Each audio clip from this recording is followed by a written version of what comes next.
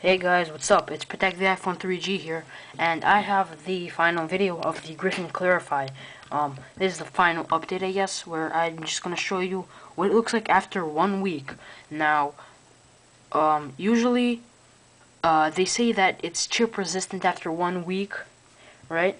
But if you have the option to, I would personally not use it for four weeks or something, because, for example, the Capsule Rebel, after a week, it still could chip, but now it's pretty rock hard, and the plastic won't chip.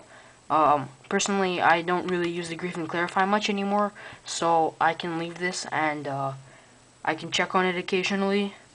Just forget about it and like just check on it occasionally and see how it's doing. Um, because you know, the longer it's on, the um, the longer the paint, the more the paint will bond to the plastic. Um, but if you already did it and you need to use your case after a week you can use it fine. Just be careful not to really hit it around much or you might chip some of the paint. Alright so let's just get a quick close-up. Put this camera there we go.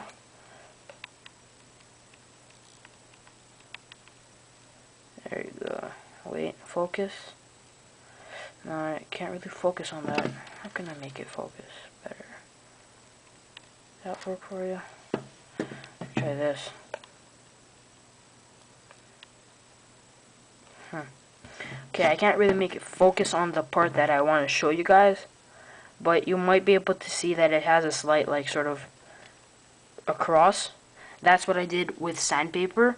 Now the bottom, if you can see, got a sort of bumpy texture to it. And this one's sort of like these cuts, right? That's what the sandpaper did. It's only visible in really, really bright light. And it makes this part incredibly, incredibly smooth and nice. This part is very, very smooth. And this part adds more grip. So, you know, your bottom two fingers, or how, how you hold it, this part gets more grip, the top gets more grip, and the centerpiece is pretty slidey. Um, but you know it's still a hard case, so it's not it's gonna slide around. Now, what I messed up in this one, uh, pretty bad. The right corner. See that right there? I should do that.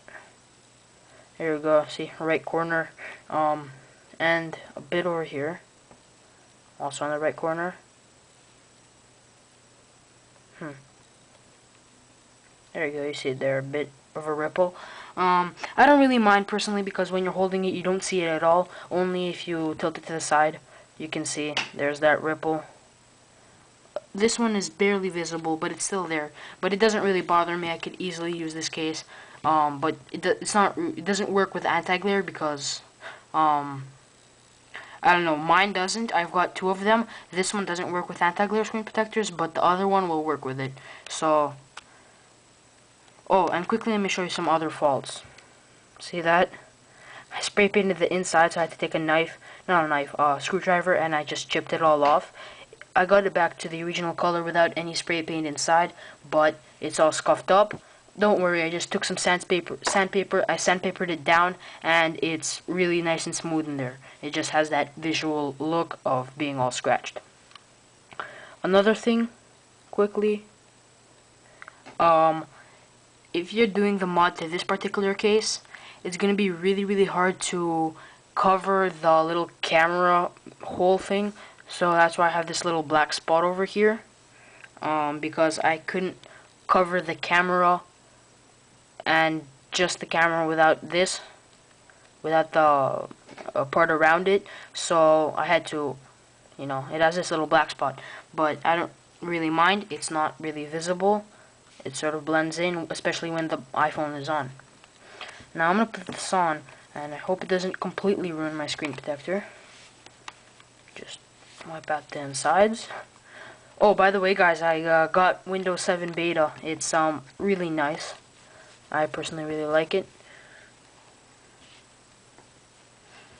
Let me just give it my phone a nice wipe down because I don't want any lint to get between the case and the phone because it can cause scratches so I've experienced it firsthand Incase Slider literally killed my last iPhone. Alright, so here we go. You might notice that... What was that?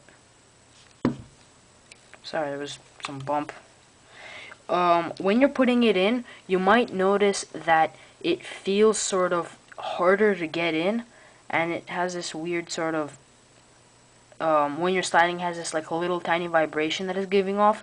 That's because that the new spray paint plastic is going on the screen and it's not as smooth anymore. It won't damage your screen protector, but it'll give you that little. So there you go.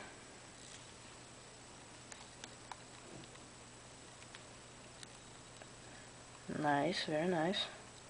Alright, now let's quickly give a wipe down to the bottom piece here. Wipe out our other piece. So, you know, if you don't have the skill to mod it, or you can't afford to lose a case, I wouldn't recommend doing this. Because I have two of these, so I just did this for fun. There you go. That's what it looks like.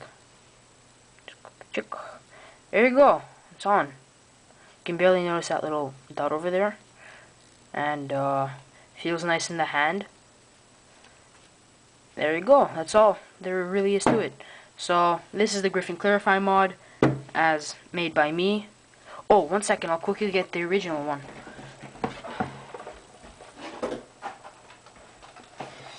Okay, so here's the original model. Actually, there's the iPhone. I'm going to take it off now because I don't want it messing up my screen protector. So, there you go. Bottom part comes off. Top part easily comes out. Back has no scratches, no scuffs from it. And everything is perfectly fine. See? So, definitely, definitely works. But you're going to need some skill and some good thinking to do this. So, I wouldn't really recommend this to everyone. So the way I did it was I, you know, slid in a fake iPhone so it doesn't paint the inside because if it paints the inside, that paint's going to be rubbing on your phone and that could be pretty bad and pretty ugly. So let me just quickly put this microfiber out of here. And here's the original Griffin Clarifi just to show you a quick comparison of what it used to look like. This is my... I have another one which I never used. Um, don't really remember why I have it. So here's the Griffin Clarifi. It's still in original, what's this, it's got this plastic over it still, which I'm not gonna take off. But this is a shiny part, and there you go from the front. Maybe I should take this off. There you go, there's a look from the front. Side back, right side, and we're back here.